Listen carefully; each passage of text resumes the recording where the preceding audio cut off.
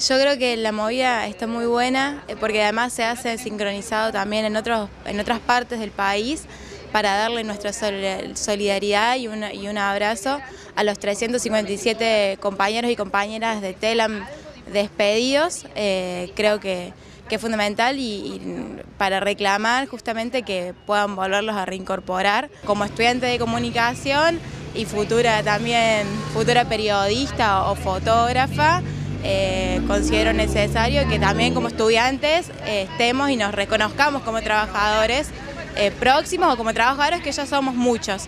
Así que bueno, me parece importante. Agustina, ¿cómo ves la situación de la universidad pública?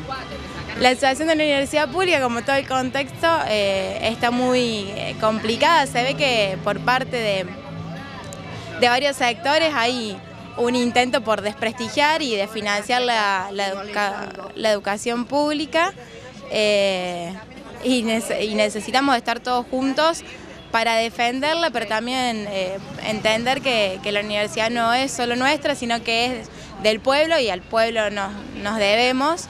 Entonces también poder entender ese sentido de la universidad pública.